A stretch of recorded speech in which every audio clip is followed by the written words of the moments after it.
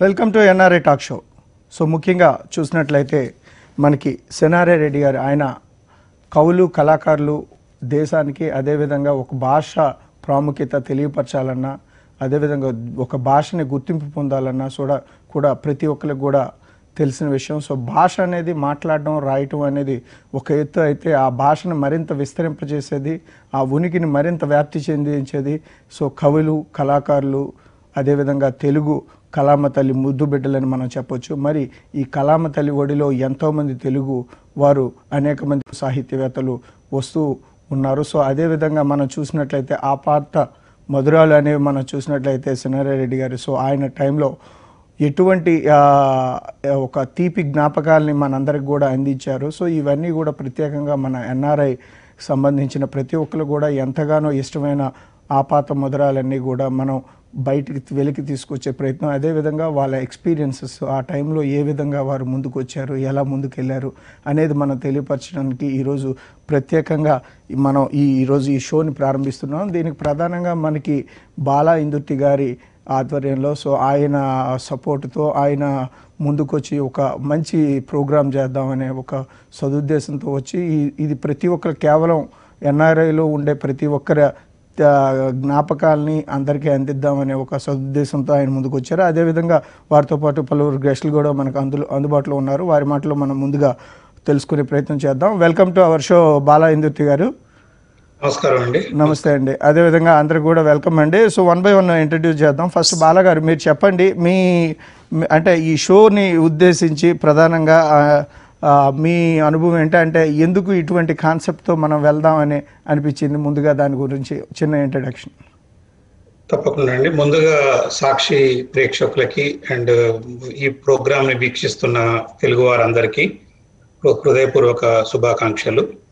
ఈ ప్రోగ్రాం ముఖ్య ఉద్దేశం ఎంతో మ- ఎందరో మహానుభావులు లైక్ మనకి సినీ రంగంలో నటులు కానీ సాహిత్య రంగంలో కానీ మ్యూజిక్ కానీ డైరెక్షన్ నిర్మాతలు ఎంతో మంది ఈ ఎన్ లెజెండ్ అని తీసుకుంటే అలాంటి వాళ్ళు ఎందరో మహానుభావులు ఉన్నారు. వాళ్ళందరి గురించి మనం అప్పుడప్పుడు మాట్లాడుకోవాలి అనే ఉద్దేశంతో ఒక ప్రోగ్రామ్ నేమ్ పారిజాత పరిమళాలు. మన ప్రోగ్రామ్ టైటిల్ కూడా మన ఫనీ డొక్ సజెస్ట్ చేశారు. సో ఆ ప్రో ఆ ప్రోగ్రామ్ని ఇది ఒక ఎపిసోడ్ వన్గా ముందు అంటే అకేషన్ ఈ రోజు నారాయణ రెడ్డి గారి బర్త్డే కాబట్టి బర్త్డే మొదలు పెట్టి తర్వాత ముందు ముందు ఆ ఒక్కొక్క లెజెండ్ గురించి ఈ ఎపిసోడ్ వన్ కంటిన్యూ చేద్దాము మ్మ్. అనేది ముఖ్య ఉద్దేశం అండి. యా ఆ, చాలా అంటే ఆయన బర్త్డే సందర్భంగా మనం ఇటువంటి ఒక మంచి ప్రోగ్రామ్ని ఎన్ఆర్ఐ సోదరులకి ప్రధానంగా అందించే ప్రయత్నం చేయడం సో చాలా మంచి ఉద్దేశం ఉంది సో మనం ముందుగా ప్రారంభించే ముందు మీ మీకున్న పరిచయం ఏంటంటే అంటే సినారెడ్డి నారాయణ రెడ్డి గారితో ఉన్న మీ పరిచయం ఒకసారి ముందుగా ఎక్స్ప్లెయిన్ చేయగలరా? తప్పకుండా అండి. నారాయణ రెడ్డి గారిని నేను ఫస్ట్ కలిసింది అట్లాంటాలోనే. రెండు వేల సంవత్సరంలో అట్లాంటాలో ఆట వేడుకలు జరిగినప్పుడు వరల్డ్ కాంగ్రెస్ సెంటర్లో నారాయణ రెడ్డి గారు పివి నరసింహారావు గారు ఇద్దరు ఎక్కడైనా వాళ్ళిద్దరే కనిపిస్తున్నారు. చాలా మంది జంట కవులు తిరుగుతున్నారు అన్నట్టుగా వాళ్ళని చూస్తేనే ఒక మన ఒక ఎక్స్ ప్రైమ్ మినిస్టర్ అనో లేకపోతే అలా కాకుండా ఒక కవులను చూస్తున్నట్టుగా. ఆ, కావాలి అవును. అలా కలవడం జరిగింది. తర్వాత నేను ఒకప్పుడు లోకల్ అసోసియేషన్ తామా మ్యాగజైన్లో ఎవ్రీ క్వార్టర్లో ఒక టైటిల్ అది ఆంధ్రుల ఆనిముత్యాలు అనే ఒక టైటిల్తో ప్రోగ్రామ్ ఒక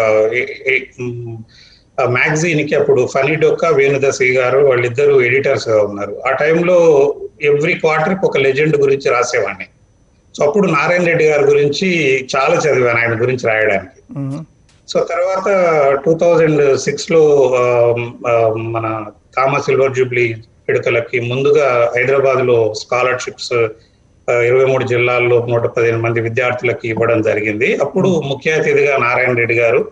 ఏఎన్ఆర్ గారు రావడము. సో వాళ్ళు వాళ్ళని ముఖ్యంగా పిలిచిన ఉద్దేశం ఏంటంటే ఇద్దరు క్రమశిక్షణతో సెల్ఫ్ మేడ్ పైకి వచ్చిన వాళ్ళు వాళ్ళ ద్వారా పిల్లలు విద్యార్థులు స్కాలర్షిప్స్ తీసుకొని వాళ్ళ మాటలు వింటే వీళ్ళకి కొంచెం ప్రభావితం అవుతారనే ఉద్దేశంతో పిలవడం జరిగింది. తర్వాత మళ్ళీ అప్నా ఫౌండేషన్ ద్వారా టూ థౌజండ్ ఎయిట్లో స్కాలర్షిప్ సెరమనీ రవీంద్ర భారత్లో చేశాము. అప్పుడు కూడా మళ్ళీ వీళ్ళే ఇద్దరు గెస్ట్లుగా వచ్చారు. తర్వాత యుఎస్ పిలవాలి ఎట్లయినా అతన్ని అనే ఉద్దేశంతో రెండు వేల పదకొండులో నాటా సేవా డేస్ కోఆర్డినేటర్గా నేను ఇండియాకి వెళ్ళినప్పుడు నేను ప్రెసిడెంట్ ఏవిఎన్ రెడ్డి గారు అడిగినప్పుడు ఇప్పుడు ఇంటర్నేషనల్ ట్రావెల్ చేయలేకపోతున్నాను. ఇన్ఫాక్ట్ డే టైమ్ ప్రోగ్రామ్సే ఒప్పుకుంటున్నాను. నైట్ ప్రోగ్రామ్స్ కూడా ఏజ్ రీత్యా చేయట్లేదు అన్నారు. అప్పుడు అతనికి అక్కడే నాటా ద్వారా లైఫ్ టైం అవార్డు ఇవ్వడం జరిగింది.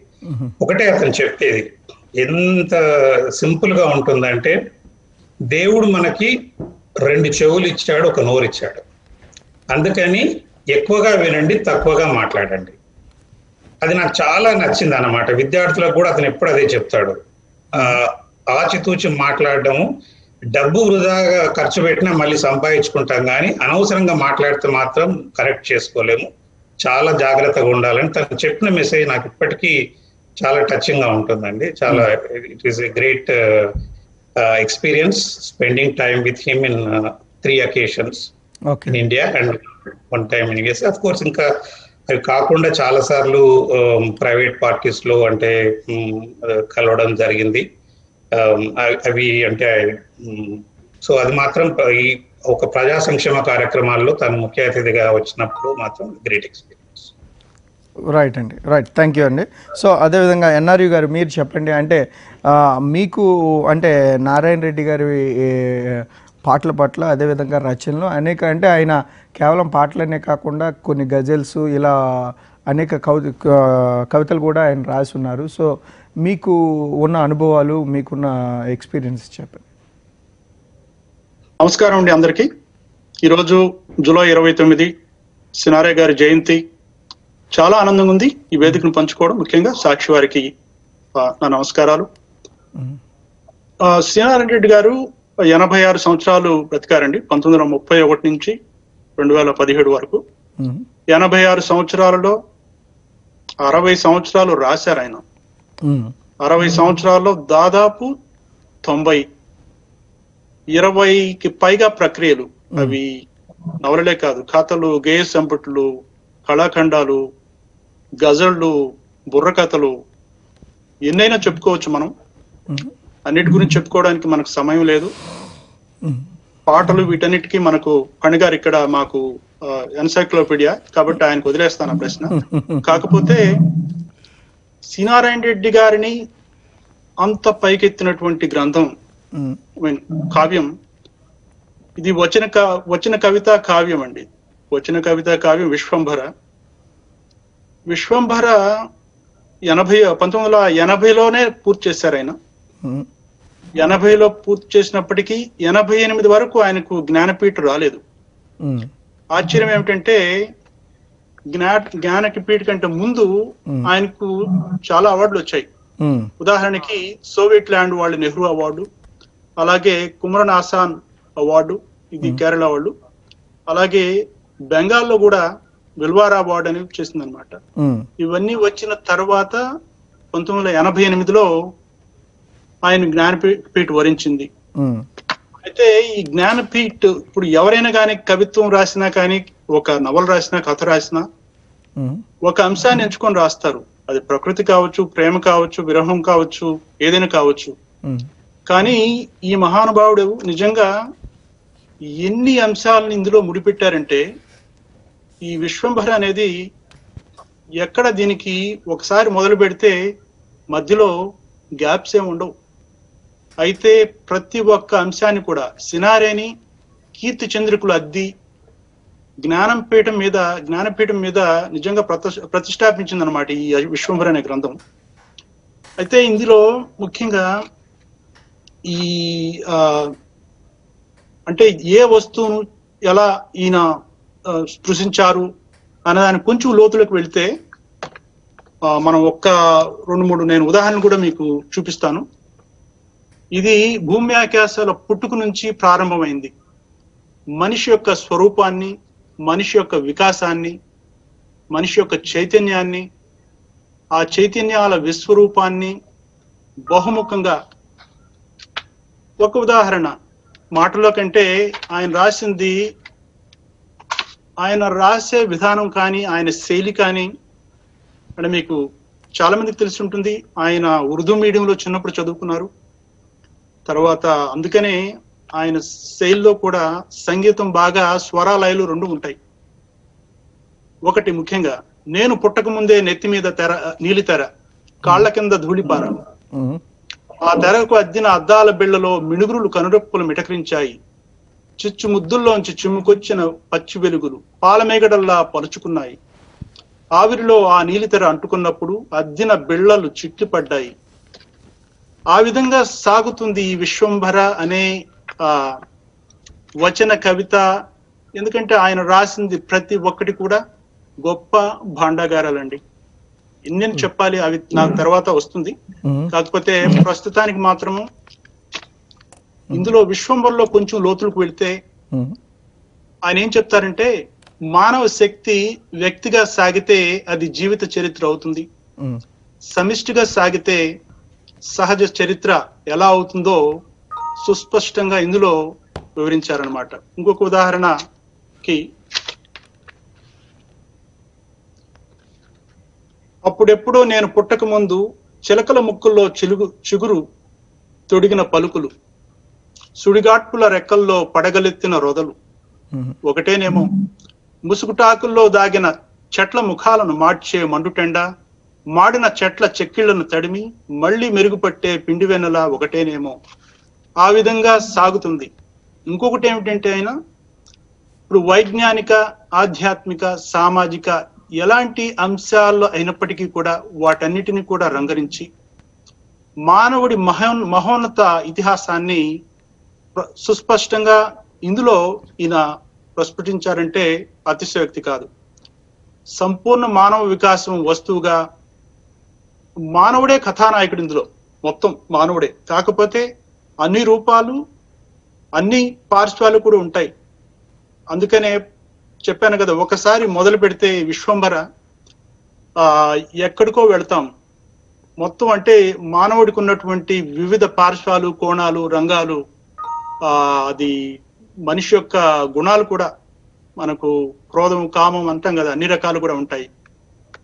ఈ గొప్ప విశ్వంబరను చాలా విశ్వవిద్యాలయాలు విద్యార్థులకి పాఠ్యాంశం లాగా కూడా ఇవి ప్రవేశపెట్టాయంటే అతిశయోక్తి కాదు.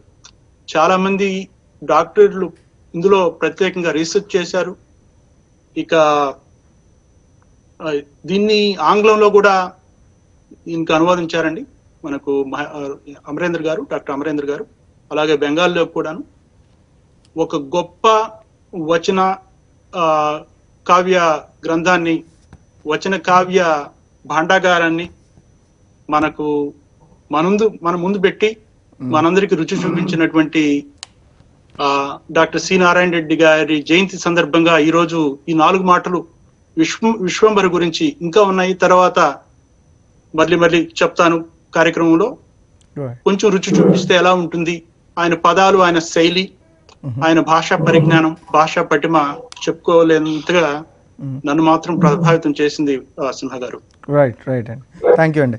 అదేవిధంగా ఫ- పన్నీడొక్క గారు మీరు చెప్పండి అంటే మీరు రైటరు సింగరు అదేవిధంగా నంది అవార్డు గ్రహీత కూడా. సో ఈ పారిజాత పరిమళాలు టైటిల్ సజెస్ట్ చేసినప్పుడు అంటే అంటే నేను కూడా బాలగారితో మాట్లాడినప్పుడు ఇలా ఫనీ గారు ఉన్నారు. ఈజ్ మంచి సజెస్ట్ చేస్తారని అన్నారు. సో ఎందుకని ఆ టైటిల్ మీకు ఎలా వచ్చింది? అదేవిధంగా నారాయణ రెడ్డి గారికి సంబంధించిన కొన్ని మీకు ఇష్టమైన పాటలు ఒక రెండు లైన్లు కూడా పాడి మన ప్రేక్షకులు కూడా వినిపిస్తే అందరూ సంతోషిస్తారు. తప్పకుండా అండి. అందరికీ నమస్కారం. నారాయణ రెడ్డి గారి పుట్టినరోజు సందర్భంగా ఈ కార్యక్రమం మనం మొదలు పెట్టాము చాలా చక్కటి కార్యక్రమం. ఈ ఆలోచన వచ్చి కార్యక్రమాన్ని మొదలుపెట్టిన బాలా ఇందుర్తి గారికి ఇంకా ఈ కార్యక్రమాన్ని ముందుకు తీసుకువెళ్తూ ఈ కార్యక్రమాన్ని ప్రత్యక్ష ప్రసారం చేస్తూ దీనికి రూపకల్పన చేసినటువంటి సాక్షి వారికి ఇంకా ఈ కార్యక్రమం చూస్తున్నటువంటి తెలుగు ప్రేక్షకులందరికీ నమస్సులు. ముందుగా ఈ పేరు ఎందుకు అనుకున్నాను. పారిజాతము అనేది కల్పవృక్షం. దేవ దేవతా వృక్షం దేవలోకంలోంచి మనకి తర్వాత ఇక్కడికి వచ్చినటువంటి వ్యవహారం మనకంతా తెలిసిందే కదా? ప్రతి కళాకారుల్లోనూ ఒక దైవాంశం ఉంటుంది. ఆ దైవాంశ ఎక్కువగా ఉన్నవాళ్ళు చాలా గొప్ప కళాకారులు అవుతారు. ప్రపంచవ్యాప్తంగా గుర్తింపు పొందుతారు. వారి రచనల ద్వారా వారి కళ ద్వారా వారు అది రచనే కావచ్చు పాడడమే కావచ్చు మరొకటి కావచ్చు ఆ కళ ద్వారా వాళ్ళు చిరంజీవులు అవుతారు. అటువంటి పారిజాత వృక్షాల వంటి మహానుభావుల వారి వారు చేసినటువంటి పనులలో ఆ పారిజాత పుష్పాలను మనం ఏరుకుని వచ్చి ఆ సౌరభాలను మరొక్క మాట అందరికీ ఆ గుబాళింపులను అందరికీ మరొక్క మారు పరిచయం చేద్దాము అనే ఉద్దేశంతో ఈ కార్యక్రమానికి నేను అనుకున్నటువంటి శీర్షిక పారిజాత చాలా? చక్కగా వర్ణించారు సో థ్యాంక్ యూ సో అందుకని పారిజాత పరిమళాలు అనే పేరు అన్నమాట అయితే ఇక నారాయణ రెడ్డి గారి పాటలు నచ్చనివి అంటే నచ్చనిది ఏదీ లేదు అన్ని నచ్చినవి. అంటే బాగా మనల్ని ఆకట్టుకునే ఉంటాయి? బాగా తప్పకుండా. సో ఇది ఎలా ఉంటుందంటే నయాగరా జలపాతాన్ని గబగబా వర్ణించేయండి అన్నట్టుగా ఉంటుంది అనమాట ఒకసారి దాన్ని చూసే ఉంటే మనం అలా ఆశ్చర్యంతో నిలబడిపోతాం. సో నోట మాట రాదు. అలాగే ఆ సి నారాయణ రెడ్డి గారి ఇప్పుడు సాహిత్యం గురించి మన ఎన్ఆర్యు గారు చెప్పారు. పరిచయం చేశారు. చెప్పలేదు. ఇంకా నెక్స్ట్ మళ్ళీ విశ్వమరు గురించి చెప్తారు. సో అయితే ఈ సినిమాల ద్వారా సినిమా సినీ గేయ రచయితగా ఆయన మొత్తం ప్రపంచానికి పరిచయం కదా. సో అయితే మొట్టమొదటి పాటతోటే అంటే ఆయన మొట్టమొదటి పాటతోటే తనదైన ముద్ర వేసేశారు. అందుకని ఆ పాటతోటి మొదలు పెడదాం గులేబ కవళి కథా చిత్రంలోని నన్ను దోచుకుందువటే నన్ను దోచుకుందువటే వన్నెల దొరసాని కన్నులలో దాచుకుందు నిన్నే నా స్వామి నిన్నే నా స్వామి నన్ను దోచుకుందువటే. ఈ పాటలో వన్నెల దొరసాని అన్నారు. ఎందుకు? ఎందుకంటే ఆవిడ మామూలు రాజకుమారి కాదు. చాలా వన్నెలు చూపించినటువంటి రాజకుమారి. ఎవరు ఆ క- సినిమా కథ చూసినట్లయితే మీరు. ఎవరైనా వస్తే వాళ్ళని జిత్తులతోటి ఒక ఆట ఆడించి ఓడించి దాంట్లో వాళ్ళని పరిచారకుల కింద చేసుకుంటుంది. అయితే దానికి ఆవిడ వేసే జిత్తులకి ఆ ఎత్తులకి పై ఎత్తు వేసి కథానాయకుడు ఆమెను వశం చేసుకుంటాడు. వశం చేసుకుంటే అప్పుడు ఆవిడ పాదాక్రాంతం అయ్యి అంటుందన్నమాట చరణంలో చూడండి. తరియింతును నీ చల్లని చరణముల నీడలోన పూలదండ ఓలే కర్పూర కళిక ఓలే. అసలు ఆ మాట కర్పూర కళిక అనే పదం ఎలా పడిందంటే అసలు నిజంగా దండం పెట్టాలి. సో కర్పూర కళిక ఓలే అని ఆవిడంటే ఆయన అంటాడు నీ నీ స్థానం పాదాల దగ్గర కాదమ్మా. అని చెప్పి ఎంతటి నిరజాణవో నా అంతరంగమందు నీవు కలకాలము వీడని సంఖ్యలలు వేసినావు. నువ్వు చాలా నీ ప్రేమ అనే బంధంతో సంఖ్యలు వేసి నన్ను ఎప్పుడో కట్టేశావు. నేను ఇక్కడి నుంచి కదలలేను అని చెప్పి. అలాగే రెండో చరణం చివరిలో ఒక మాట ఉంటుంది. ఏమిటంటే ఏనాటిదో మన బంధం ఎరుగరాని అనుబంధం అన్న తర్వాత ఎన్ని యుగాలైనా ఇది ఎగిరిపోని గంధం అంటారండి. అసలు నిజంగా ఆ లోతులు కనుక మీరు ఒకసారి అది ఆలోచిస్తే అది ఆ శృంగార భావన అంత గొప్ప శృంగార భావన అలా ఇంకెవరు చెప్పలేరేమో అనిపిస్తుంది. అంత అద్భుతమైన పాట. అది రామారావు గారిది. తర్వాత పూజా ఫలం చిత్రం తీసుకుంటే నాగేశ్వరరావు గారి కోసం రాసిన మంచి పాట అది. నిన్నలేని అందమేదో నిదురలేచెనెందుకో నిదురలేచెనెందుకో తెలియరా రాగమేదో తీగ సాగెనెందుకో తీగ సాగెనెందుకో నాలో నిన్నలేని అందమేదో. ఎంత మంచి పాట అండి. ఆ హీరోకి కథానాయకుడికి ప్రేమ కలుగుతుంది మనసులో. ప్రేమ భావన కలిగినప్పుడు ప్రపంచం అంతా అందంగా మారిపోతుంది. అంతకు ముందు చూసిన చెట్టే అంతకు ముందు చూసిన మనిషే. మన్నాడి నుంచి మనకు కొత్తగా అందంగా కనిపిస్తారు. అందుకే నిన్న లేని అందం ఏదో ఈ ప్ర ఈ ప్రకృతిలో వచ్చింది అన్నాడు ఆయన అనమాట సో? చక్కని అంటే ఆ లిరిక్స్ వింటుంటే. అంటే నిజానికి ఇప్పుడు జనరేషన్ చాలా వరకు ఇవన్నీ పాటలు కూడా తెలిసి ఉండదు. బట్ ఏంటంటే విన్న విన్నే ఎవరికైనా కూడా తెలియని వారిని కూడా ఒకసారి వింటే ఆకట్టుకునే అంత గొప్పగా రాయటం అనేది మేబీ అది ఇటువంటి కవులకి చెందింది అను అనుకోవచ్చేమో. అంటే ఇప్పుడు యా సి నారాయణ రెడ్డి గారు ఇప్పుడు ఒక పద్మభూషణ్ లేదా ఒక ఒక జ్ఞానపీఠ అవార్డు ఇవన్నీ ఒక ఎత్తు అయితే అంతకంటే ఈరోజు ఈ పాటలు పాడుకోవడం కానీ ప్రజలు మీరు అన్నారు చూడండి చిరంజీవులుగా ఉండిపోవడం అనేది అవార్డ్స్ కంటే కూడా ఈ పాటల రూపంలో ఈ కవితల రూపంలో ఉండిపో ఉండిపోవటం అనేది చాలా గొప్ప అదృష్టం భావించవచ్చేమో అవును చాలా చక్కగా చెప్పారు. అదే దాంట్లో అంటారు అనమాట ఏమిటంటే ఆ, పూచిన ప్రతి తరువు ఒక వధు అంటే ప్రతి చెట్టు కూడా పెళ్ళి కూతురులా ఉందట. అలాగా సో పువ్వు పువ్వున పొంగిన మధువు ఇన్నాళ్ళీ శోభలన్నీ ఎచ్చట దాగిన అక్కడే ఉన్నాయి. ఉమ్, కానీ అతనికి ఏమిటి అతని మనసులో ప్రేమ రావటం వల్ల ప్రేమ అనేది అదొక్కటే నిజం అదొక్కటే దేవుడు. కాబట్టి ఎప్పుడైతే మనసులో ప్రేమ భావన కలిగితే ప్రపంచం అంతా అందంగా మారిపోయింది. ఈ పాటలో హైలైట్ ఏమిటంటే అన్ని బాగుంటాయి. రెండో రెండో చరణంలో జలపాతాల వర్ణన అది ఉంటుంది. చివర్లో అంటారు మూడో చరణంలో అసలు ఆ, అది ఆ, పూచిన ప్రతి తరువక వధువు ఇది అయిపోయింది కదా. తర్వాత ఆ, మూడో చరణంలో అంటారనమాట ఏమిటంటే పసిడి అంచు పైట జార పయనించే మేఘబాల అరుణకాంతి సోకగానే పరవశించాను. దండం పెట్టాలి. నిజంగా అంత అద్భుతంగా రాయడం అనేది ఇంకా అంటే ఇంకెవరి వల్ల కాదు నేను అన్ను ఎందుకంటే అది అప్పటికి గొప్ప వాళ్ళు చాలా మంది ఉన్నారు బట్ శ్రీనారాయణ రెడ్డి గారికే సాధ్యం. అరుణకా అరుణకాంతి సోకగానే పర ఆ పిక్చరైజేషన్ కూడా ఎంత బాగుంటుందో అక్కడ అన్నమాట ఉమ్, అలాగా అంత అద్భుతమైన పాట నాగేశ్వరరావు గారికి రాశారు.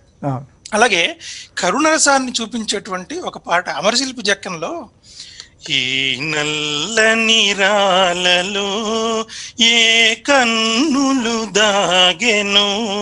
ఈ బండల మాటున ఏ గుండెలు మ్రోగెను? ఓ, ఈ నల్లని రాలలో అది ఆ పాటలో కూడా రెండు మాటలు చెప్పు చెప్తాను ఆ పాటలో అద్భుతమైనటువంటి ఒక భావన ఏమిటంటే చరణాలు ఉంటాయి. ఒక చరణంలో అంటారు పైన కఠినం అనిపించును ఇది అందరూ చెప్తారు రాయి పైన కఠినంగా ఉంది. అయితే ఒక కవి చెప్పగలిగిన మాట లోన వెన్న కనిపించును. రవిగాన్స్ అనే చోట కవిగాన్స్ అదన్నమాట. పైన కఠినం అనిపించును లోన వెన్న కనిపించును. ఈ రెండు సరే అంతవరకు బానే ఉంది. ఒక కవి సాధారణ కవి అంతవరకు చెప్తాడు. ఆ పై మాట చూడండి. ఒక దార్శనికుడు సమాజం మీద చేసినటువంటి వ్యాఖ్య ఆ మూడో లైన్. ఏమిటంటే మొదటి పైన కఠినం అనిపించును లోన వెన్న కనిపించును. తర్వాత జీవమున్న మనిషి కన్నా శిలలే నయం అనిపించును ఎంత అద్భుతమైనటువంటి భావన అది. అది కేవలం ఒక దార్శనికుడు రాయగలడు అంటే కవి కొంతమంది చూసిన దాన్ని అంతవరకు రాసి వదిలేస్తారు. కొంతమంది చూసిన దానికి తమ భావం ఆపాదిస్తారు. మూడోది ఒక విశ్వజనీనత. ఉండాలన్నమాట. ఒక యూనివర్సల్ థాట్ ఉండాలి. ఆ కామెంటరీ అక్కడ ఇచ్చారన్నమాట. జీవమున్న మనిషి కన్నా శిలలే నయం అనిపించును అని. అందుకని నాకు ఆ పాట చాలా ఇష్టం. యా అలాగే యా ఫనీ గారు మనం మరికొన్ని పాటలు మీతో పాటలు పాడించుకుంటాం తప్పకుండా. డెఫినెట్గా. అండ్ అదే విధంగా బాలా గారు కూడా చాలా చక్కగా పాడతారు నాకు తెలుసు. ఆయన వాళ్ళ ఇంట్లో ఉన్నప్పుడు ఆయన. మమ్మల్ని అందరినీ ఎంతగా అలరించారంటే సో అది బాలా గారితో కూడా వీలైతే చివరిలో ఒక మంచి పాట కూడా పాడించుకుందాం. సో అంతకంటే ముందుగా విజు చిల్వ గారు మీరు చెప్పండి. సో సినారే గారితో మీకు ఉన్న ఎక్స్పీరియన్స్ ఏంటి? అంటే నా ఇప్పుడు నారాయణ రెడ్డి గారి పాటలు కానీ ఆయన కవితలు కానీ ఇష్టపడని వారు ఎవరు ఉండరు తెలుగు భాష తెలుగులో అని అంటే అతిశయోక్తి కాదేమో. సో అటువంటి ఎన్నో ప్రతి పాటని టచ్ చేస్తే కూడా ఇది బాగుంది ఇది బాగుంది అనే ఇలాంటి పాటలు. సో మీ ఎక్స్పీరియన్స్ చెప్పండి. ముందుగా సాక్షి ప్రేక్షకుల నమస్- నమస్కారం. విశ్వవిఖ్యాతి గడించినటువంటి సినారే గారి జన్మదిన రోజున ఈ వేదికకు నన్ను ఆహ్వానించినటువంటి బాల ఇందుర్తి గారికి అదేవిధంగా సింహ గారికి పన్నెండు పన్నెండొక్క ఎన్ఆర్యు గారికి అభినందనలు తెలుపుతూ నాకు ఆయనతో కొంత అనుభవం ఏర్పడిందండి. ఆల్మోస్ట్ ఒక ట్వంటీ ఫోర్ ఇయర్స్ బ్యాక్ ఒక స్కూల్ ఇనాగురేషన్కి నన్ను ఎవరైనా ఒక ఎడ్యుకేషనిస్ట్ని ని చెప్పారనమాట నాకు ఆ బాధ్యతను ఇవ్వడం జరిగింది. జరిగితే నాకు వెంటనే సినారయ్య గారు గుర్తుకొచ్చారు. తను హైదరాబాద్లో ఉంటారు. నేను హిమాయత్ నగర్లో ఉంటాను. సో వెంటనే ఫోన్ చేశాను. తను వెంటనే యాక్సెప్ట్ చేశారు. చేసిన తర్వాత నేను వెళ్ళాను. వెళ్ళిన తర్వాత కారులో కూర్చొని ఇద్దరం వెళ్తున్నాం. వెళ్తున్నప్పుడు చాలా చక్కటి మాటలు నాతో చెప్పడం జరిగింది అనమాట అంటే మామూలుగా ఫ్రెండ్లానే మామూలుగా మాట్లాడుతూ పోయాడుతున్నాం అంటే కొత్త అన్నది ఏం లేదు నువ్వు నేను గొప్ప నువ్వు నార్మల్ అనేటువంటి లేకుండా మామూలుగా మాట్లాడుతూ పోయాడుతున్నాం సో తను చెప్పేది ఏమిటంటే మన భారతదేశంలో లిటరసీ లెవెల్లో ఉండడం మూలన మనం వెనకబడ్డాం. లిటరసీ లెవెల్ అంటే ఇప్పుడు తన స్కూల్ గురించి మాట్లాడబోతున్నాడు కాబట్టి దాని గురించే తను ప్రస్తావించాడు అనమాట సో నేను అదే చెప్పబోతున్నాను. ఆ తర్వాత ఈ యొక్క సాహిత్యం కానీ కళలు కానీ మనం ఇంకా కొంత ముందుకు తీసుకెళ్ళాలి. దానికి నేను ఎంతో కృషి చేస్తున్నాను అనేటువంటి తను చెప్పడం అదే తన ప్రసంగం కూడా అదే చెప్పాడు. So he inspired millions of people తను రాయడమే కాకుండా సినిమాలో రాయడమే కాకుండా బుక్స్ రాయడం కాకుండా తను ఎక్కడ ప్రసంగించినా కూడా ఎడ్యుకేషను అదేవిధంగా లిటరసీ గురించి చాలా మాట్లాడేవాడండి. నేను తన యొక్క స్పీచెస్ విన్నాను. స్పీచెస్లో ప్రేక్షకుడికి కూర్చునేవాడు నేను. అదేవిధంగా మీరు ఇప్పుడు మళ్ళీ ఈ యొక్క సినీ గేయ రచయితగా మనం తీసుకుంటే ఒకటే ఒక విషయం చెప్పవచ్చు. తన ప్రతి పాట డిఫరెంట్గా ఉంటుంది. మీరు ఏదైనా తీసుకోండి. అన్ని రకాలుగా రాయగలిగినటువంటి ఏకైక రచయిత సినారి అని గర్వంగా చెప్పగలుగుతాను. ఎందుకంటే మీరు ఒక ఏదైనా తీసుకోండి. అన్ని జానరాస్ ఉంటాయి తన దగ్గర. మాయదారి సిన్నోడు కూడా రాశారు. ఇప్పుడు పని మీరు గమనిస్తే అది దాంట్లో ఒక విధమైనటువంటి ఒక చిన్న రొమాన్స్ కానీ ఒక విధమైన చిలిపి అది ఉంటుంది. అది అది అసహ్యం అనిపించదు. అది అది పాడినా కానీ డాన్స్ ఏది ఏ విధంగా ఉన్నా కానీ మీరు పాడినప్పుడు వింటే కూడా చాలా అద్భుతమైనటువంటి ఆ, సాహిత్యం కూడా ఉంటుంది దాంట్లో. దాని ప్రతి కోణం నుండి కూడా దాంట్లో నుంచి పెట్టాడు. ఇందాక మీరు వివరించినట్టుగా ఆ విధంగా మీరు ఏదైనా తీసుకోండి. జానపదం తీసుకోండి లేకపోతే ఆ, మీరు ఒక మెథలాజికల్ మూవీలో రాయమన్నా కానీ సోషల్గా పగలే వెన్నెలు తీసుకుందాం. పగలే వెన్నెలు తీసుకున్నప్పుడు దాంట్లో జమున జస్ట్ ఒక పియానో వాయించుకుంటూ పాడుతూ పోతుంటే ఆ పాట ఇంతసేపు నారాయణ రెడ్డి గారు గుర్తొస్తారే తప్ప నేను జమున చూస్తున్నా కానీ అతనే గుర్తుకొస్తారు రీజన్ ఏమిటంటే అయితే ఇంకొక విషయం చెప్పాల్సింది ఏంటంటే ఇక్కడ నేను చాలా పాటలు ఇలాగా యూట్యూబ్లో ప్లే చేస్తాను. ప్లే చేస్తూ పోతున్నప్పుడు ఏదో ఒక మంచి పాట తగిలినప్పుడు ఇతని రచయిత ఎవరని చూస్తే తినారే. మీరు నమ్మరు. అంటే జనరల్గా ఇట్స్ అన్బిలీవబుల్ థింగ్ అనమాట నాకు ఇలాగా ఒక టెన్ ఇయర్స్ నుండి జరుగుతోంది. ఏదైనా ఒక పాట నాకు అన్ని పాటలు అందరూ రాసినట్టుగా నాకు తెలియదు. నాకు ఆ సినిమా పరిజ్ఞానం తక్కువ. మీ ముగ్గురి కన్నా మీ నలుగురి కన్నా నాకు తక్కువ అందరికన్నా డెఫినెట్గా కానీ నేను బాగా అభిమాన్ని. సినిమాల పాటలు ఇక మ్యూజిక్ అభిమాని కాబట్టి ఏంటంటే పాటలు వింటున్నప్పుడు ఏదో ఒక పాట బాగా నాకు హృదయానికి తగిలినప్పుడు ఏం చేస్తానంటే నేను దాని రచయిత ఎవరని వెంటనే నేను రీసెర్చ్ చేస్తాను. సినారే. మళ్ళీ నెక్స్ట్ చేసినప్పుడు సినారే. ట్రస్ట్ మీ నేను వేరే పాటను రీసెర్చ్ చేయలేదు. ఆయన పాటలు రీసెర్చ్ చేసినప్పుడు ఆయన పాట ఆయన ఆయన పేరు వచ్చింది. అది that is that is Cinare. అది నేను చెప్పగలను. యా మీ ఇందాక మీరు అన్నారు కదా ఇది నిన్నలేని అందం ఏదో. అది నేను ఒక వంద సార్లు విన్నాను. నేను ఆఫీస్కి వెళ్తున్నప్పుడు ఆ పాటను అదే రీ రీప్లే పెడతాను అనమాట రీప్లే పెట్టి విని విని విని విని నేర్చుకున్నానండి. అది నేను ఇప్పుడు పాడను ఎందుకంటే ప్రేక్షకులు భయపడి టీవీ కట్టేస్తారు. కాబట్టి నేను పాడను. అది పనే పాడాలి. సో అది ఎక్స్ట్రాడినరీ సాంగ్ దాంట్లో మీనింగ్ కానివ్వండి రాగం కానివ్వండి ఆ సింగర్ కానీ దానికి తను ఒక న్యాయం చేశాడని చెప్పుకోవచ్చు. మీరు పాట కూడా యా పాటల. కంటే మంచి చలోక్తులతో మమ్మల్ని అందరినీ కూడా అలరిస్తున్నారు. అంటే నేను కొంచెం క్యాజువల్గా మాట్లాడతాను. Yeah, అంటే. మరి ఒక అక్కలా కాకుండా క్యాజువల్గా మాట్లాడుతున్నాను. బాలకు తెలుసు. ప్లస్ బాల నాకు ఒక ఫైవ్ మైల్స్ ఉంటాడు. పని కూడా ఒక వన్ మైల్ వాళ్ళందరితో నేను ఈ వేదిక పంచుకోవడం కూడా చాలా హ్యాపీగా ఉంది నాకు. కొన్ని విషయాలు. మనం రైట్ థ్యాంక్ యూ బాలగారు మీరు చెప్పండి నారాయణ రెడ్డి గారి పాటల్లో మీకు బాగా నచ్చిన పాటలు అదేవిధంగా ప్రేక్షకుల కోసం వీలైతే ఒక రెండు వర్డ్స్ కూడా మీరు పాడితే మేమంతా మేము కూడా సంతోషిస్తాం. మ్యూట్లో ఉన్నారు బాల. యా బాలగారు మీరు మీట్లో సారీ తప్పకుండా నారాయణ రెడ్డి గారి పాటలు నచ్చినవి అంటే ఆ, పాటల పేర్లు చెప్పడానికి ఒక రోజు సరిపోతుంది. ఇంక పాటలు పాడడం సంగతి. నేను ముఖ్యంగా చెప్పేది ఏంటంటే నేను సింగర్ని గాను. మీరు విన్నదంతా అంత్యాక్షరి ఆడుకున్నాను సింహ మీరు వచ్చినప్పుడు. అంత్యాక్షరి అంత్యాక్షరి గొంతు వేరు స్టేజ్ మీద పాడే గొంతు వేరు. మీరు పాట అంతా పాడేస్తారు. మొత్తం పాట? నాకు ఇంట్రెస్ట్ బట్ నచ్చిన పాటలు చెప్తాను. నేను నచ్చిన పాటల్లో ఫస్ట్ మంచిని సమాధి చేస్తారా ఇది మనుషులు చేసే పని ఏనా? నేరున్నది కథాకలిది సత్యం గారి మ్యూజిక్ డైరెక్షన్. తర్వాత పగలే వెన్నెల జగమే ఊయల కదలే ఊహలకే కన్నులుంటే. ఇది పూజాఫలం చిత్రంలో ఇస్రాయేశ్వరరావు గారి మ్యూజిక్. అందరాని సందమామ నీకెందుకు? ఇది ప్రెసిడెంట్ పేరమ్మలో చక్రవర్తి గారి మ్యూజిక్. నేను train to cover one liners with all music directors. Okay.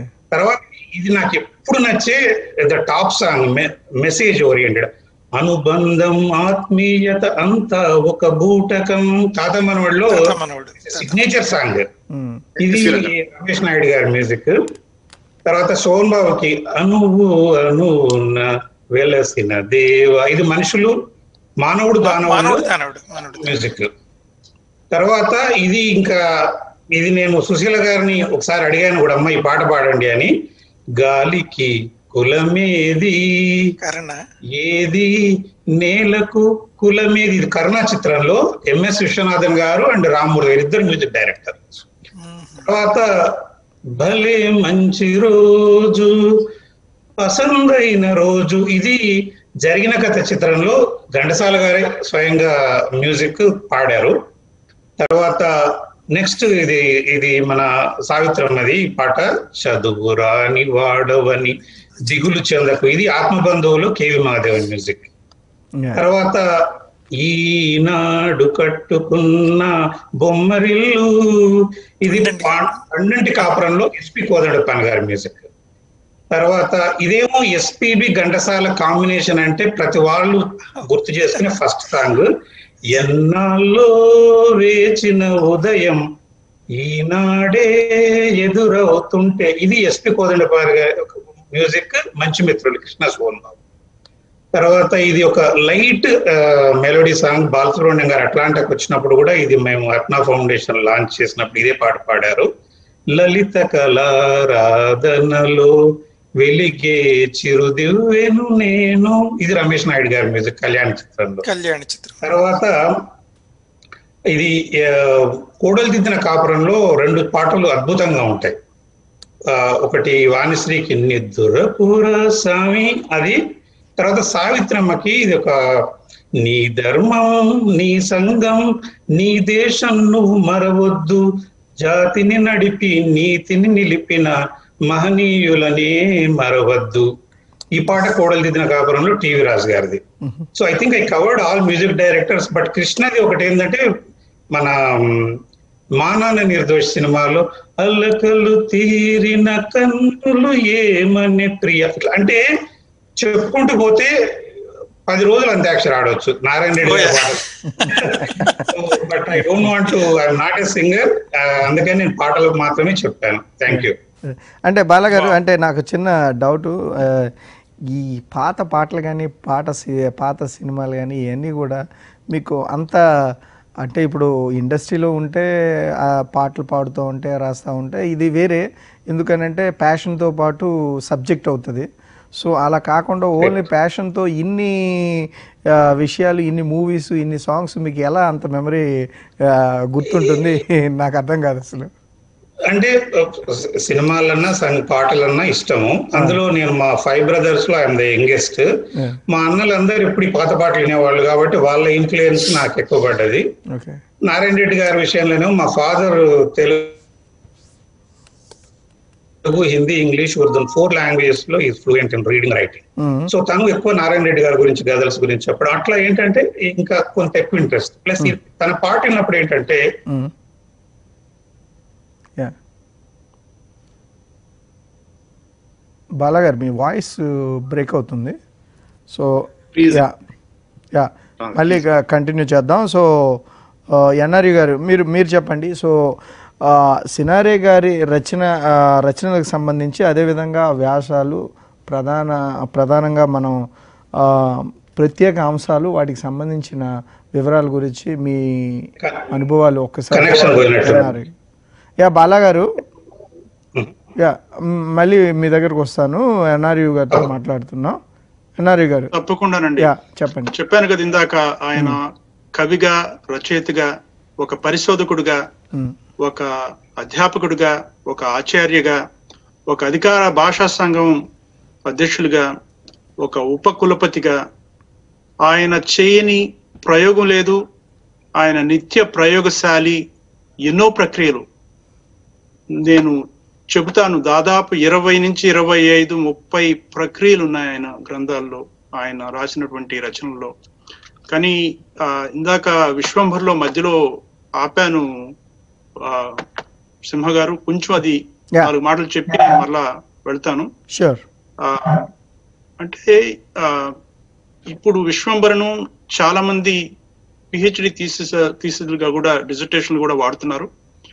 ఆయన ఉస్మానియా యూనివర్సిటీలో సినారాయణ రెడ్డి గారు పిహెచ్డి చేసినప్పుడు ఆధునిక ఆంధ్ర కవిత్వ సంప్రదాయాలు మనం అద్భుతంగా రాశారనమాట అది కూడా చాలా మంది పరిశోధన గణంగా కూడా వాడుతున్నారు ఇప్పుడు. అందులో చెప్పుకోదగ్గది ఏమిటంటే ఆయనది ఒక అరుదైన ఆల్కమి అంటాం. ఒక అరుదైన శైలి. ఆ వచ్చిన కవిత పితామహుడు కందుప్తి ఆంజనేయులు గారు ఏమన్నారంటే సినారేది ఆ, తిలక్ల రెండంచుల పదునుగల కత్తి అన్నమాట. ఆయన కవిత్వంలో అమృతాన్ని కురిపించగలరు అలాగే అగ్ని అగ్నిని కూడా పుట్టించగలరు అనమాట అంత సామర్థ్యం ఉన్నటువంటి వ్యక్తి. ఆయన గ్రంథాలు ఇంగ్లీషు ఫ్రెంచి సంస్కృతం దాదాపు ఏడు భాషల్లోకి అనువదించారంటే అతిశయోక్తి కాదు. దాకా సినారా గురించి చెప్తూ మనం విశ్వంబర్లోకి వెళ్దాం ఒక నిమిషం. మ్మ్. ప్రకృతి మనిషి మనస్సుకి ఏ విధంగా ఆయన గుడి పెడతారు. నడక ఉంది అది అడుగులకే తెలియనిది. పలుకు ఉంది అది పెదవులకే తెలియనిది. దృశ్యం ఉంది అది దివారాత్రాలు లేనిది. కాలం ఉంది అది కదలక పారే నది. అప్పుడు ఉన్నాము ఇద్దరం మింటి తోటలో పూసిన బొమ్మల్లా. అంటే ఈ విధంగా సాగుతూ ఉంటుంది ఆయన ముఖ్యంగా విశ్వంభర్లో ఉన్నటువంటి ఆ ఐదు ప్రకరణలు. ప్రకరణలు అంటే చాప్టర్లను చెప్పుకోలేము. అవి కొంచెం ఒక ఖండాల్లాగా. కాకపోతే ఒక ఖండానికి ఒక ఖండానికి ఎలాంటి లింకు లేదు. ఎందుకంటే మానవుడే ఈ విశ్వంబర కథానాయకుడు కాబట్టి అన్ని రూపాలు అన్ని వికాసాలు అన్ని వైజ్ఞానిక పరంగా అన్ని రకాల మానవ లక్షణాలు కూడా అన్ని ఉంటాయన్నమాట ఇందులో. ఆ, అన్నిటికంటే చెప్పుకోదగ్గ విషయం ఏమిటంటే సినారే గారు ఆ, తర్వాత ఆయన ముఖ్యంగా మీరు అడిగిన ప్రశ్నకి నేను ఇందాక ప్రక్రియలని చెప్పాను సింహ గారు. ఆయన పంతొమ్మిది వందల యాభై మూడులోనే అప్పుడే మొదలెట్టారు రాయడం. నవ్వని పూర్తి మొదలుపెట్టి అజంతా సుందరి నాగార్జున సాగరం ఇవన్నీ కూడా గేయ నాటికలు గేయ కావ్యాలు గీతాలు ఇకపోతే కవితా సంపుట్లు వచన కవితలు ముక్త ముక్త కావ్యం బుర్రకథలు ఎన్నో ఉన్నాయి. తర్వాత దివ్యల మువ్వలు అన్నిటికంటే కర్పూర వసంత రాయలు అనే కావ్యం కూడా ఆయనకి చాలా చాలా మంచి పేరు తెచ్చిపెట్టింది. పద్నాలుగవ శతాబ్దంలో కొండవీడు రాజా ఆయన అక్కడ ఒక రాజ నర్తకి ఉంటుంది. ఆమె పేరు లకుమ. ఆ లకుమ ఈ కుమారగిరి రాజును ప్రేమించి ఆయన వశం చేసుకుంటుంది. ఇకపోతే రాజ్యాన్ని రాణిని పూర్తిగా మర్చిపోతారనమాట ఈయన. ఈ కుమారగిరి రాజు ఆ లకుమ అనే నర్తకి పొలలో పడి ప్రేమలో పడి. ఈ కావ్యం కూడా చివరికి ఇదంతా కర్పూర వసంతరాయలు. ఎందుకంటే కర్పూర వసంతరాయలు అనే బిరుదు ఆ రాజుకుంది కాబట్టి ఈ ఆ, రచన సినారాకి చాలా చాలా గొప్ప పేరు సంపాదించి పెట్టింది. ఇది ఆ చాలా రోజుల క్రితం రాసిందనమాట ఇది. అలాగే ఆ గా ఆయన ఏమిటంటే చాలా మందిని స్పృశించారు చూడండి. గాంధీయం గాంధీజీ సూక్తులకి అలాగే మీరాబాయి ఇది కూడా మందార మకరందాలని పోతన భాగవతంలోని ముఖ్యంగా కొన్ని పద్య మందారాలకు మన గురువు గారు మకరంద వ్యాఖ్యానం చేశారు. అది కూడా ఒక చెప్పుకోదగ్గది. శిఖరాలు లోయలు ఆధునికాంధ్ర కవిత్వం. చెప్పాను కదా అరవై సంవత్సరాల జీవనంలో దాదాపు తొంభై ఆ రచనలు చేశారు ఈయన. ఆ ఈ విశ్వంబరకు ముందు భూమిక అనే ఒక కావ్యం రాశారు. ఆ భూమిక చాలా ఉపయోగపడింది గురువు గారికి విశ్వంబర రాయడానికి. అది కూడా చెప్పుకోదగ్గది. గజళ్ళు తెలుగు గజళ్ళు ఉర్దూ గజళ్ళు రకరకాలుగా కూడా రాశారు. ఇక ముఖ్యంగా చెప్పుకో దగ్గ రచనలు అంటే ఏది కూడా వదిలేదు కాదు. అన్ని కూడా ఆయన చివరిది తొంభైవది రెండు వేల పదహారులో నా రణం మరణం పైనే. అది చివరి సంపుటి. ప్రతి సంవత్సరం సినారే మీదుగా చాలా మంది వర్ధమాన రచయితలు రచయితలు కలిపి పుస్తకాలు అచ్చువేయడం కూడా జరుగుతోంది. ఆయన చనిపోయిన తర్వాత వేసినటువంటి పుస్తకం ఏమిటంటే కలం అలిగింది. కలం అలిగింది. ఆయన చనిపోయే ముందు నా రణం మరణం పైనే. ఈ ప్రక్రియలో చెప్పాం కదా ఈయన సోవియట్ రష్యాలో పది రోజులు అలా మిగతా దేశాల్లో కూడా చెప్పాను కదా ఏడు భాషల్లో అనువదించబడ్డాయి. ఖలీల్ జిబ్రాన్ కవితోక్తులు కూడా అనువాదం చేయడం ఎందుకంటే ఆయనకు ఉర్దూ వల్ల ఎన్నో లాభాలు కూడా ఉన్నాయి. ఉర్దూ గ- గజల్స్ మీకు తెలిసే ఉంటుంది. అప్పుడు నైజాం పాలనలో అప్పుడు ఉర్దూ భాష ఎక్కువగా ప్రాచుర్యంలో ఉన్నప్పుడు ఆయన రాయ రాసిందనమాట ఇక పాశ్చాత్య దేశాల్లో ఇకపోతే రెక్కలని అమరవీరుడు భగత్ సింగ్ మీద బుర్రకథ రాశారండి. అది చాలా చాలా చాలా ప్రసిద్ధి చెందింది. ఆ, ముచ్చటగా మూడు మూడు వారాలు మలేషియాలో తెలుగువాణి అనే అనే ఒక ఆ, పది సంపుటం కూడా ఆయన ఇలా చెప్పుకుంటూ పోతే తొంభై పుస్తకాల పేర్లు గేయ సంపుటి పేర్లు గేయ కావ్యాల పేర్లు చెప్పడానికి నాకు సమయం లేదు. ఆ ఎందుకంటే ఒక్క విశ్వంభర మనం అందరం తెలుగు వాళ్ళు ఎవరైనా కానీ విశ్వంభర అది అర్థం చేసుకోవడం సులభం. కాకపోతే అన్ని పార్శ్వాలు చాలా పార్శ్వాలు ఉంటాయి. ప్రతి ఒక్కరూ విశ్వంభర కొని చదవాలని అది అందులో మకరందాన్ని సేవించాలని నా కోరిక. రైట్ అండి right thank you yeah thank you అండి అదేవిధంగా ఫణి గారు మీరు చెప్పండి. అంటే ఇప్పుడు సహజంగా ఇప్పుడు ఇంతసేపు మనకి ఎన్ఆర్యు గారు చెప్పినట్లుగా ఒక భాష అనేది ఏంటంటే ఎక్కడైనా ఉంటే కొన్నాళ్ళు ఉన్నామంటే భాష నేర్చుకోవచ్చు. చదవటం రాయటం అనేది ప్రాక్టీస్ చేస్తే వస్తుంది. సో ఒక భాషని కవితగా మారాలి అని అంటే దాని మీద ఎంతో పట్టు ఉండాలి సో ఆయన పెరిగిన సమయంలో అంటే తెలుగు భాష నేర్చుకోవడం అనేది ఒక ఆప్షనల్. అంటే అప్పుడు ఉర్దూ భాష నిజాం టైంలో ఇక మనకి తెలంగాణలో చూసినట్లయితే ప్రధాన భాషగా తెలుగు భాష అనేది ఆప్షనల్గా ఉండే పరిస్థితుల్లో ఆయన తెలుగు నేర్చుకుని ఇటువంటి కవితలు అంటే వ్యక్తపరచ అంటే రావటం అనేది సో అసలు ఎలా ఇది సాధ్యమవుతుంది? ఎలా మనకి తెలుస్తుంది. అదేవిధంగా యాజ్ యూజువల్ మీరు కొన్ని మంచి పాటలు కూడా మాకు అందించారు. తప్పకుండా అండి. అంటే ఆయన జీవితాన్ని చూసి జీవితం అనే బడిలో పెరిగినటువంటి వ్యక్తి. కా- బడికి వెళ్ళారు ఉర్దూ నేర్చుకున్నారు. నిష్ణాతులు ఉర్దూలో నిష్ణాతులు. సో అయితే అంతపాటు ఒక కవి హృదయంలో ఎప్పుడూ కూడా ఏమిటంటే ఒక పరిశీలనాత్మకమైనటువంటి దృష్టి ఉంటుంది. సో ఆయన జీవిత జీవితం అనే పాఠశాలలో పెరిగినటువంటి వ్యక్తి అన్ని అన్నిటినీ ఎంతో నిష్ట నిష్టమైన పరిశీలన దాని మీద తన వ్యాఖ్య. చెప్పగలిగిన వ్యక్తి. అందుకే ఆయన తెలుగులోను ఇందాక మన ఎన్ఆర్యు గారు చెప్పినట్టు ఉర్దూలోను. ఎన్నో ఎన్నో ఇంకా ఆయన చేయని ప్రయోగం అనేది ఉందా అనేది డౌటే సాహిత్యంలో. ఆ, సో అంత అద్భుతమైన ప్రయోగాలు చేసినటువంటి సినారే గారు. అయితే ఇంకొకటి ఏమిటంటే సినారే గారు ఎందుకు ఈయన ప్రత్యేకత ఏమిటి? చాలా మంది అంటే ఇప్పుడు సినీ గేయ రచయితల్లో ఉన్నారు కదా చాలా మంది ఈయన ప్రత్యేకత ఏమిటంటే నాకు అనిపించింది చెప్తాను ఎందుకంటే ఆనాడు మల్లాది ఆయన రామకృష్ణ శాస్త్రి గారి దగ్గర నుంచి ఈనాడు సిరివెన్నెల గారి దాకా బోల్డ్ మంది బ్రహ్మాండమైనటువంటి అద్భుతమైనటువంటి కవులు. ఇంకా అందరూ చాలా మంది ఎంతో అద్భుతమైన పాటలు రాశారు. అయితే సినారే గారి ప్రత్యేకత ఏమిటి దాంట్లో? అంటే మల్లాది రామకృష్ణ శాస్త్రి గారిని నేను కాళిదాస్తో పోలుస్తాను. ఎందు- ఎందుకంటే ఆయనకు పదిహేడో పద్దెనిమిదో భాషలు వచ్చండి. ఇంకా ఇంకా ఎక్కువేమో కూడా. అంటే కొన్ని భాషలకి లిపి లేదు. అంటే మృత పైశాచిక భాష అని ఒకటి పాళి అనే ఒక భాష ఇలాంటి భాషలు అయితే వంద భాషలు అనుకుంటా ఆయనకి. వచ్చు ఎవరికి? మల్లాది రామకృష్ణ గారికి. అందుకని ఆయన తెలుగులో కూడా ఆయన వాడే పదాలు చూస్తే మీరు అది వేరే వాళ్ళకి అసా అంటే అనితర సాధ్యం అనమాట ఎందుకంటే మనకు అలాంటి పదాలు ఉన్నాయని తెలియదు. అలాంటి పదాలన్నీ ఆయన వాడి ఆయన భావం అదంతా ఆ- లెక్క వేరే. సో అందుకని ఆయన్ని కాళిదాస్తో పోల్చచ్చు మ్మ్. అలాగా ఆత్రేయ గారిని తీసుకున్నాం అనుకోండి. ఆయన మాట రాస్తే మనసు గుచ్చుకుంటుంది.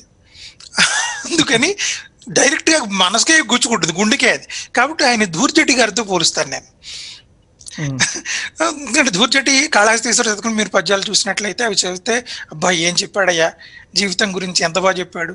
అని అనిపిస్తుంది అనమాట అంతా మిద్య తలంచి చూసిన నరుండట్లో ఒకటి రింగి ఇలాగా ఈ పద్యాలన్నీ కూడా. అలాగే ఆత్రి ఏం చెప్పినా కూడా ఒక్కసారి కసకం గుచ్చుకుంటుంది అనమాట మాను మాకును కాను ఆ పాట చూడండి. మామూలు మనిషిని నేను అక్కడ దాకా బాగానే ఉంది. నీ మనిషిని నేను. అది జీవితంలోని సారం అంతా ఒక మాటలో ఉంది నీ మనిషిని నేను అని. సో అలా చెప్పగలిగింది ఆత్రి అయితే.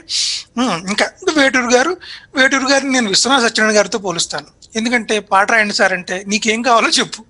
నీకు ఎలా కావస్తే అలా రాసిస్తాను. పాట. నీకు ఏ స్థాయిలో కావాలి నీకు? ఆ డీలక్స్ స్థాయిలో కావాలా? లేదా ఈ స్థాయిలో? నీకు ఏ స్థాయిలోకి వస్తే ఆ పాట రాయిస్తాను పట్టుపో. అది అందుకని ఆ విధంగా విశ్వనాథ సత్యనారాయణ గారు ఎన్నో ప్రక్రియలు చేశారు. ఈ సాహిత్యంలో. అంటే ఆయన ఎంత విస్తారంగా చేశారో అందుకని నేను వేటూరు గారిని విశ్వనాథ గారితో పోలిస్తే మరి శ్రీనారాయణ రెడ్డి గారిని ఎవరితో పోలుస్తారు? నేను శ్రీనాథ కవి సార్వభౌమునితో పోలుస్తాను. ఎందుకంటే ఆయన వాడినటువంటి పదాలు పదాల్లో ఆ లాలిత్యము ఆ శృంగార భావన ఒక సొంపు ఉంటుందండి. మనిషి ఎంత దర్జాగా టీవీగా అందంగా కులాసాగా దిలాసాగా విలాసంగా ఉంటారో ఆయన అవన్నీ ఆయన పాటలో కనిపిస్తాయి మనకి. అంత అద్భుతంగా ఉంటుంది. ఏదో మాయ చేస్తారు. అంత పదాలు పట్టుకొచ్చి పెట్టి మన మనసులో ఒక ఎంతో మధురమైనటువంటి భావన రేకెత్తించేటువంటి కవి కాబట్టి నేను ఆయన్ని శ్రీనాథుడితోటి పోలుస్తాను. అయితే ఆనాటి శ్రీనాథులకి రెడ్డి రాజుల అండ దొరికింది. ఈ అపర శ్రీనాథులకి ఎన్టీఆర్ గారి అండ దొరికింది. సో అటువంటి మిత్రుడు అటువంటి సోదరుడు ఉండడం వల్ల బంగారానికి తావబ్బినట్టుగా ఇంకా అద్భుతంగా రాణించారు. అయితే ఇందాక చెప్పాను ఇందాక అంటున్నాం కదా చెల్లెలు కాపురం చిత్రంలో పాట ఉంటుంది. ఏది? మన ఆడవే మయూరి. ఆ పాట తీసుకున్నట్లయితే దాంట్లో మీకు అల్లసాని పెద్దన్న గారు ఉత్పల మాలిక అని చెప్పారు. అంటే కృష్ణదేవరాయలు గారు అన్నారు ఒకసారి సరే తెలుగులోను సంస్కృతంలో సమానంగా అద్భుతమైనటువంటి పద్యం ఎవరన్నా చెప్తే నేను వాళ్ళ గండపెండేరు తొడుగుతాను వారిని పల్లకి ఎక్కించి నేను మోస్తాను అని. సో అయితే పెద్దన్న గారు చెప్పారనమాట మొదటి సగం అంతా కూడా తెలుగులో తర్వాత సగం సంస్కృతంలో. నాకు ఈ పాట విన్నప్పుడల్లా ఆ ఉత్పలమాలికి గుర్తొస్తుంది. ఎందుకంటే దీనిలో మొదట తేట తెలుగులో మొదటి చరణం రెండో చరణం అంతా సమాసాలు గుప్పించి అదరగొట్టేస్తారు. మొదటి చరణంలో రాసలీల చెప్పారు రెండవ చరణంలో కా- కొంతవరకు గిరిజా కళ్యాణం చెప్పినట్టు. ఎందుకంటే మనమధుడిని దహించడం ఇవన్నీ ఉంటాయి. అయితే ఆ మొదటి చరణం తెలుగులో చెప్పిన దాని గురించి కాస్త ప్రస్తావిస్తాను. అది యమునా సుందర తీరము అది రమణీయ బృందావనము. అది అక్కడ మొదలుపెట్టారు. దాంట్లో అర్థం కాకపోవడానికి ఉంది. ఒకటన సుందర యమునా తీరము అనొచ్చు కానీ యమునా సుందర తీరము. ఎందుకు? తర్వాత రమణీయ అమ్మ ఉంచితే రమణీయ బృందావనము అని రా రావాలి. అందుకని. సో అక్కడ స్టేజ్ సెట్ అయిపోయింది. యమునా తీరము బృందావనము. అది విరిసిన పున్నమి వెన్నెల. అది వీచిన తెమ్మెర ఊయల. గాలి వీస్తోందట వెన్నెలొచ్చింది. అది చల్లని సైకత వేదిక. సైకత వేదికలు అంటే ఇసుక దెబ్బలు. ఆ, సో ఆ వెన్నెల ఇసుక దెబ్బల మీద పడింది. అంత హాయిగా ఉన్న ప్రకృతిలో కూడా ఒక ప్రాణి విరహంతో వేగిపోతోంది. ఎవరు?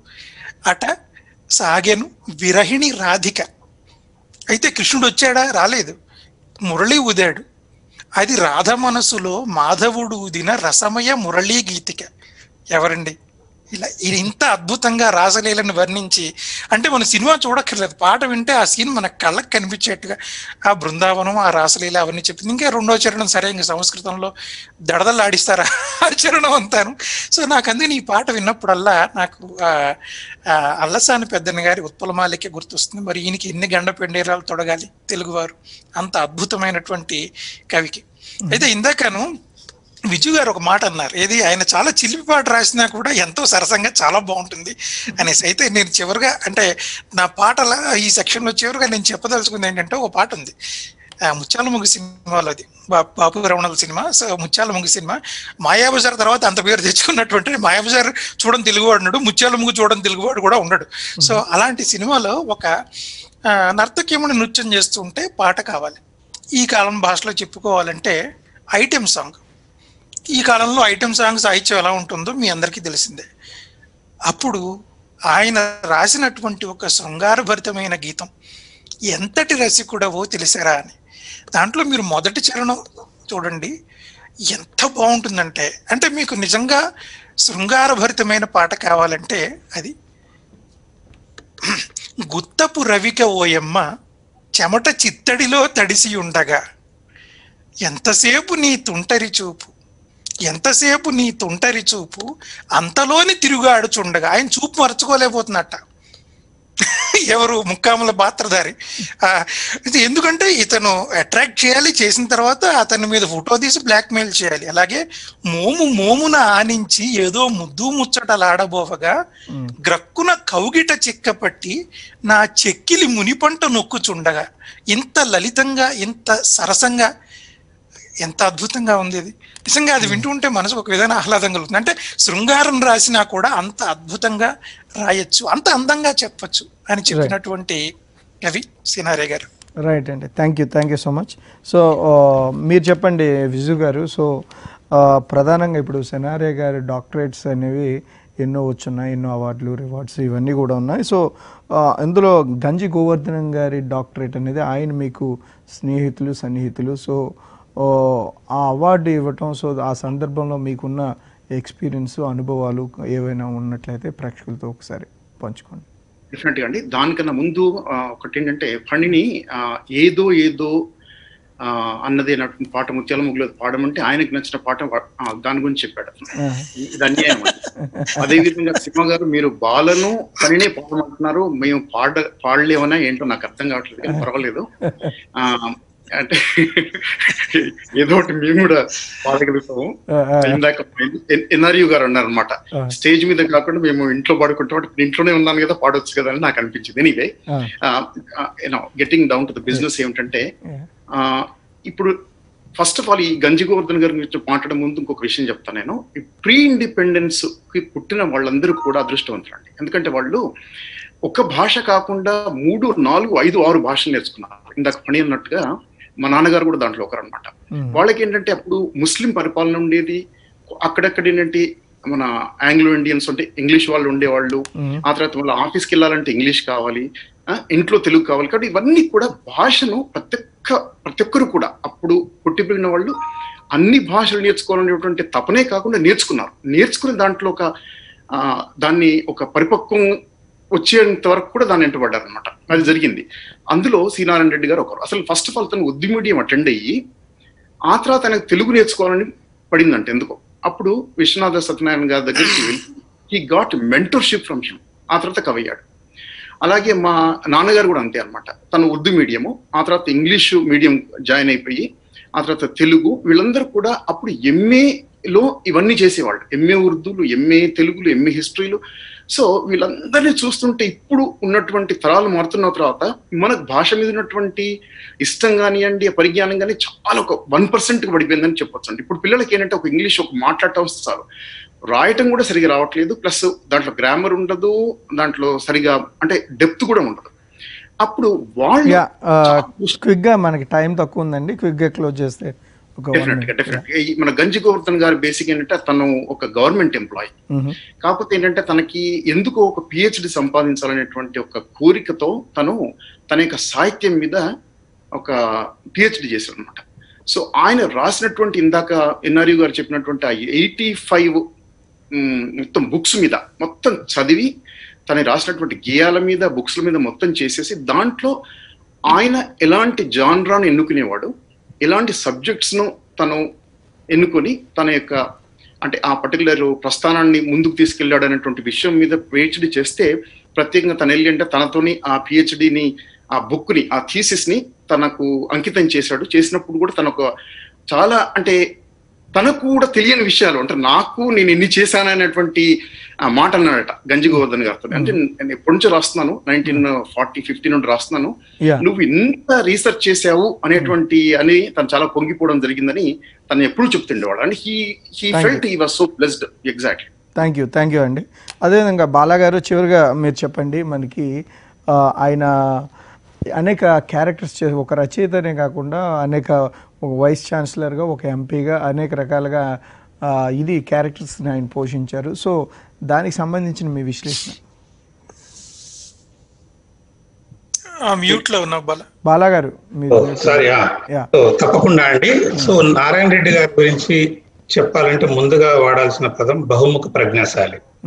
చాలా మంది గొప్ప సినిమా రచయితలతో పోటీపడి వాళ్ళ ఏ ఏమాత్రం తగ్గకుండా సినిమా పాటలు రాస్తే ఒక సినిమా పాటలు ఒకటే కాకుండా అదే వైస్ ఛాన్సలర్గా ఓపెన్ యూనివర్సిటీ వైస్ ఛాన్సలర్గా ఎంతో మందికి చదువుకోలేదు మాకు డిగ్రీలు లేవు అనే కోరికలు కలిగే వాళ్ళందరికీ ఎట్లా గ్రాడ్యుయేట్స్ అవ్వాలనే దాంట్లో చాలా ఎంకరేజ్ చేశారు. తర్వాత తను forty years non stop walker. తను థర్టీ ఫైవ్ ఇయర్స్ నుంచి ఎవ్రీడే వన్ అవర్ వాక్ చేస్తారు ఎర్లీ మార్నింగ్. సో చాలా సార్లు నేను బ్రహ్మానంద రెడ్డి పార్క్లో ఇండియాకి వెళ్ళినప్పుడు మా బ్రదర్తో వాక్లో వెళ్తున్నప్పుడు రెండు మూడు సార్లు కలవడం జరిగింది. అతను అలా కూర్చొని మాట్లాడుతూ ఉంటే ఎవరో వచ్చేది అప్లికేషన్ ఇస్తారు. వెంటనే తీసుకుంటారు. ఏంటి అంటే ఓకే మాట్లాడతారు నేను ఎవరండి అని అంటే ఎవరో ఏదో అవసరం ఉంది. అంటే తన దగ్గరికి ఎవరు వచ్చినా కూడా ఇప్పుడు ముఖ్యంగా చాలా అనాథాశ్రమాలు హైదరాబాద్ చుట్టుపక్కల even.